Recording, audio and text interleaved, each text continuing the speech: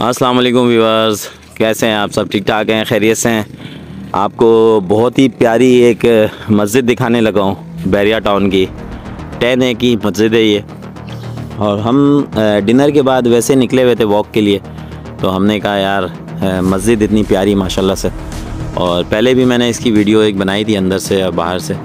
तो आप देख सकते हैं, बैरिया की खूबसूरती। हर प्रेसेंट के अंदर इसी तरह की मस्जिदें हैं। जिसमें लेडीज़ के लिए अलग है जेंट्स के लिए अलग है पार्टीशन बैतुलखुला अलग है जो वाशरूम वज़ू खाने सारे डिफरेंट डिफरेंट अलग अलग लोकेशंस हैं। तो हम अभी आपको दिखा रहे हैं लाइव मनाजिर टेन ए का टेन ए विला है ये। मोस्ट पॉपुलेटेड एरियाज़ हैं। तो हमारे साथ हमारे गुजर साहब भी मौजूद हैं जो हमारे साथ वॉक करने आए हुए हैं हम। और लोग बैरिया की नेगेटिविटी बहुत दिखाते हैं। पॉजिटिव चीज़ें जो है कोई नहीं दिखाता। आप देख सकते हैं आप, ये गुजर साहब हैं हमारे। गुजर साहब और हम मौजूद हैं, जो आए हुए हैं, बैरिया। गुजर साहब, कैसा लग रहा है ये विंटर सीज़न क्या थे मतलब जो सर्दी का मौसम, आप कैसा इन्जॉय कर रहे हैं कराची बैरिया टाउन में? कैसा लग रहा है?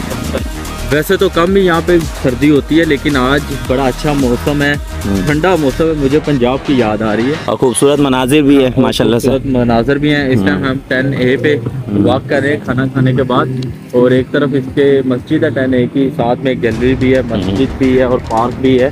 बड़ा अच्छा व्यू है सामने विलाज हैं। तो फैमिली रात के तकरीबन एक बज चुके हैं माशाल्लाह आपको अभी आप देख रहे होंगे कि कुछ गाड़ियों में जा रही है कुछ वैसे ही वॉक भी कर रही है फैमिली बड़ा अच्छा माहौल यहाँ तो रात को दिन को एक जैसा ही माहौल होता है जहाँ तक मुझे लगता है क्या है? बहरिया में समझे जैसे रात होती है दिन चढ़ जाता है यहाँ पे। एक दिन का उजाला होता है लोग निकलते हैं इंजॉय करते हैं फैमिलीज़ के साथ पार्क में और सिक्योरिटी बहुत अच्छी है जिसकी वजह से बिल्कुल सेफ़ होते हैं। और यहाँ पे उनको बहुत ज़्यादा कॉन्फिडेंस होता है अगर हम बात करें नवीद गुजर साहब के अगर हम कराची में इस वक्त हों मौजूद थोड़ा सा मस्जिद को करीब से दिखाते हैं अगर हम कराची में मौजूद हों और कराची में इस टाइम इस वक्त हम घूम रहे हों सिटी के अंदर तो आपको क्या लगता है ये मोबाइल मेरे हाथ में होगा या नहीं होगा? मैं तो कहता हूँ मोबाइल तो दूर की बात आप मेरे साथ भी नहीं होंगे। हम भी नहीं होंगे। क्या, क्या पता ऊपर पहुँचे हुए हो। हम दोनों में से कोई एक मिस हो जाए और दूसरा काम कर रहा हो। क्या पता इमरजेंसी में पड़ा हो। हाँ, अल्लाह ना करे कभी ऐसा। कोई जिना में हो शायद जो है कोई जिना में हो। लेकिन ये हकीकत है कि कराची में जो है सिक्योरिटी का बहुत ज़्यादा लॉ एंड ऑर्डर का सबसे बड़ा मसला है। और माशाल्लाह खूबसूरत मनाजिर जो हम आपको दिखाने वाले हैं और दिखा भी रहे हैं। ये है जी टेन है की मस्जिद ये अबू बकर मस्जिद है माशाल्लाह से।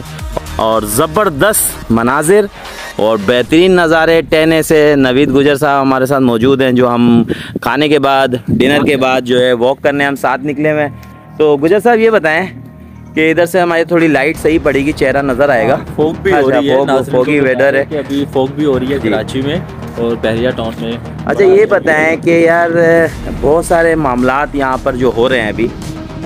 टी के टू के हवाले से जो नेगेटिव वीडियोस जो लोग बना रहे हैं। तो हमारे लोग आजकल जैसे महँगाई है अगर मैं कह रहा हूँ आजकल के दौर में भी अगर आपको चालीस से पैंतालीस लाख में प्लाट मिल जाए और उस टाइम जब हमारा जो डॉलर है वो दो सौ पचास प्लस बल्कि ओपन मार्केट में ओपन जा रहा है दो सौ पैंसठ दो सौ सत्तर तक जा रहा है। सत्तर में मिलता है और अगर आप अपनी प्रॉफिट रेशो की बात करें तो वो किधर चला गया है?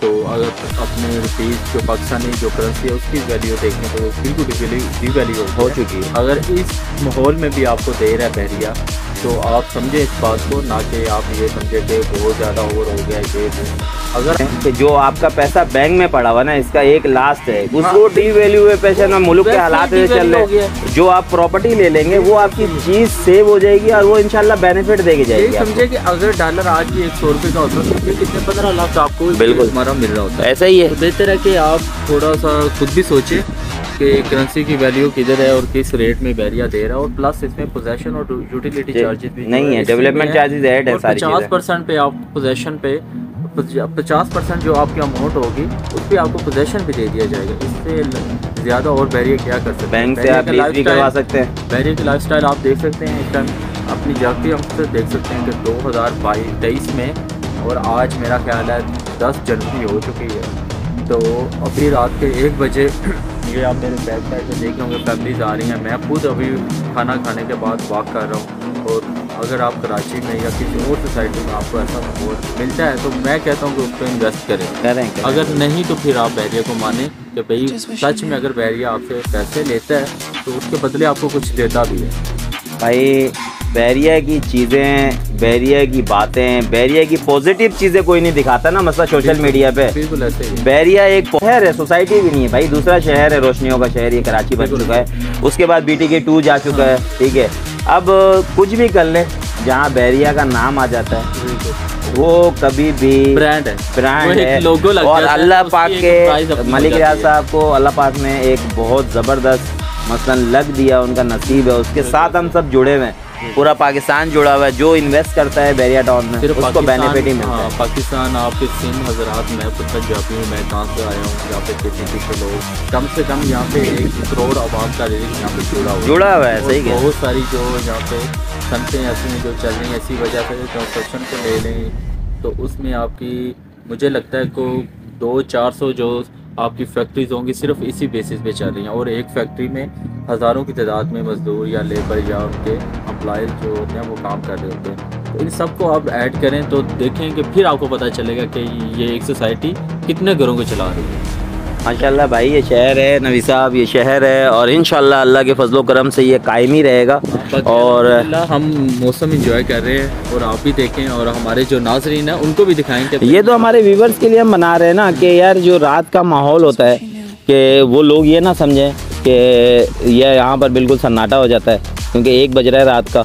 और जो मामलात हैं वो हम दिखा रहे हैं लाइव मनाजिर अपने व्यूवर्स को। और बैरिया टाउन के जितने भी लोग हैं जो नेगेटिव वीडियोस बनाते हैं बैरिया टाउन के हवाले से उसको मेरा चैलेंज है। अगर आप कराची में और इस सोसाइटी में रह रहे हैं, इस शहर में रह रहे हैं बी टी वन में, और बैरिया टाउन के किसी भी डिस्ट्रिक्ट के अंदर, किसी भी शहर में।